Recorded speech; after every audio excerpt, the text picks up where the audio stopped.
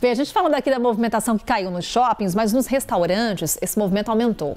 De acordo com o levantamento de uma operadora de cartões, os pagamentos nesses locais cresceram 90% em um ano.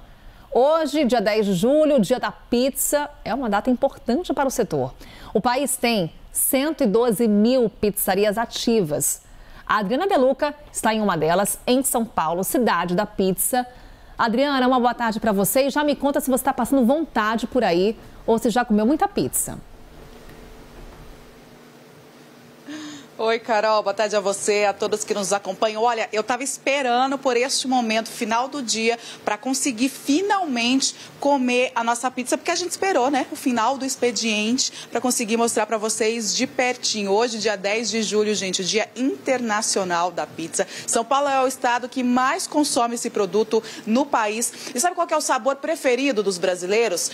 De 7 em cada 10 pessoas prefere essa aqui, gente, ó, a pizza de calabresa. Eu confesso, como eu disse mais cedo para vocês, que o meu sabor preferido é o tradicional, de mussarela, la napolitana, mas eu pedir essa aqui hoje só para variar um pouquinho, mostrar para vocês que este é o pedido, esse é o prato preferido dos brasileiros, é o queridinho, é a pizza. E só aí uma curiosidade para vocês, esse Dia Internacional da Pizza começou em 1985 porque o estado de São Paulo fez um concurso para eleger as 10 melhores receitas de pizza e desde então os restaurantes fazem aí essas comemorações, atraem os clientes que estão voltando, como a Carol disse aí no começo para vocês, o Brasil brasileiro está voltando a frequentar com mais frequência os restaurantes de, de forma presencial. Agora eu vou pedir licença para vocês, obviamente, porque eu vou comer a minha pizza, que essa aqui é a minha preferida, com a massa fininha, crocante. Não sei se a Carol gosta dessa, mas eu gosto dessa, viu, Carol? Eu volto com você. Adoro, Adriana Deluca. Pode mandar pra gente, viu? A gente aqui no estúdio, na redação, tá todo mundo esperando a pizza da Adriana Deluca,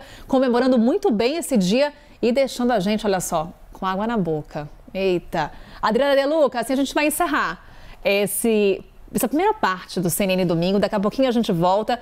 Vamos saborear essa pizza que a gente vai aguardar da Adriana Deluca.